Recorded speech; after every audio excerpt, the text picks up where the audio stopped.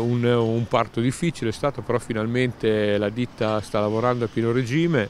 Ieri sono arrivate le, le travi per la copertura del palazzetto, il legno. Il nostro obiettivo rimane quello di avere all'interno del vecchio nuovo palasport il concerto di chiusura del ROF di questa stagione 2021 per poi ospitare i campionati di ginnastica qualora il Covid ci permettesse insomma, eh, lo svolgere di questa manifestazione. E, è, un, è, un, lavoro importante, ovviamente lo sappiamo tutti, perché il, il palazzetto sarà strategico dal punto di vista sportivo, culturale, convegnistico, quindi una, una, spinta ulteriore al turismo della città che una volta terminata questa pandemia ci auguriamo riparta e, e riparta forte insomma, come abbiamo fatto già nel 2019. E la ditta sta lavorando diciamo, alla grande, sta andando molto bene, ha chiesto di lavorare già su doppi turni, quindi c'è la, la volontà da parte di tutti di portare a casa nei tempi stabiliti quest'opera. La ditta lavorerà sia sopra che sotto, ovviamente mh, garantendo tutte le, le, sicurezze del cantiere. E il tetto diventa ovviamente uno, quelli, uno, degli interventi più importanti e quelli che eh, si vedono di più anche all'occhio perché sembra che non si fa niente quando uno guarda da fuori, però dentro ci sono diverse squadre di operai che stanno lavorando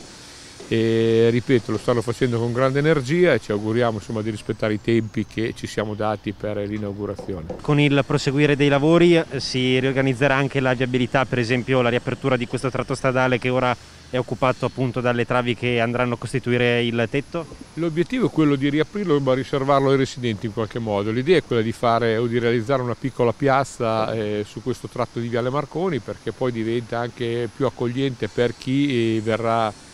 al palazzetto per sport o per convegni o per turismo in generale. Nel frattempo stiamo lavorando sulle cavalca ferrovia, come potete vedere, stiamo sistemando la, il guardrail insomma, del lato che dalla città porta verso il quartiere di Villa San Martino, così che potremo riportare le corsie da 2 a 3, ovviamente in discesa e in uscita dalla città, e lo stralcio successivo prevederà poi l'allargamento e la sistemazione del guardrail in entrata dalla città, quindi in salita eh, rimarrà una, una, corsia finché poi non faremo anche il terzo e il quarto stralcio e invece in, in, in discesa insomma, ci saranno le, le, le, due corsie. Stiamo lavorando ripeto a stralci, nel frattempo abbiamo